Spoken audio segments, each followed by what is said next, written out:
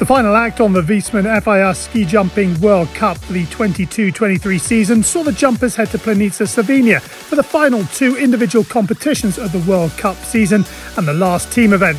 This would be the fifth and sixth round of the campaign on the Flying Hill. The first day of competition on the HS240 hill on the Friday was postponed due to high winds, and so round 37 was moved to the Saturday morning and shortened to one round. Stefan Kraft of Austria, who's been on phenomenal form over the last couple of rounds on the World Cup, continued his fine form here. The Austrian not only flew the furthest, landing 239.5 metres, but also received the best star marks of 59.5 points to win the competition. So Kraft takes it from Lanišek with Żyła in third. So congratulations to uh, Stefan Kraft, whose victory takes him to within 10 points of Halvor Granerud in the ski flying standings. So there was only a couple of hours between the end of the individual event and the start of the team event. And the home fans were hoping that Slovenia could finish on the top step of the podium. However, Austria had other ideas. Daniel Tschofenig at one had the best jumps in both of his rounds. Michael Hayböck was third and then second in his two jumps, while Jan Hörl was the same as Hayböck and Austria, who were third midway through the competition, edged their way towards the top of the podium. And Stefan Kraft was first in his two jumps, which meant Austria took the win by just over six points from Slovenia. Yeah, I think uh, one of my best days in my life, uh, flying in Planica with 20,000 of people and a great atmosphere. I heard in the second round they were playing Sweet Caroline.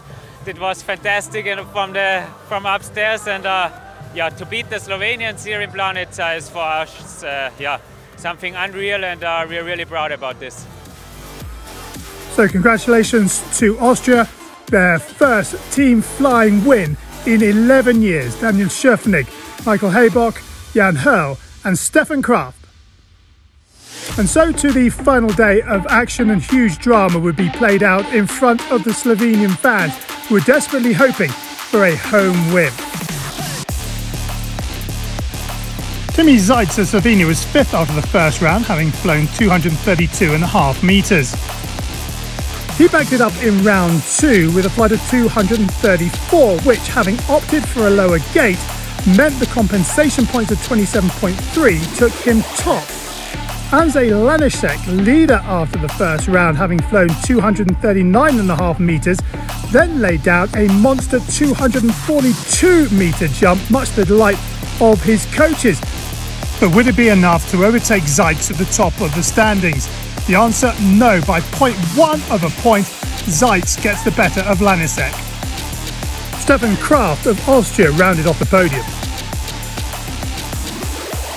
Um, yeah, it was amazing. Uh, I did two really nice flights and thank, thank you to Robbie uh, to make this decision for uh, gate down and yeah, um, it's really nice to end season uh, in the first place in the first place in front of home crowd.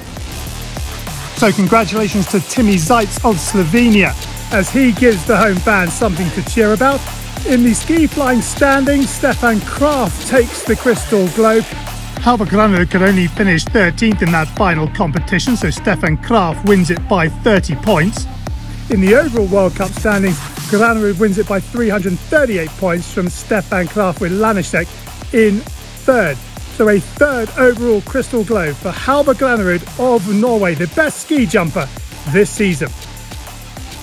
Well, that's it for the 22-23 season. We hope you've enjoyed our coverage and we'll see you all again next season.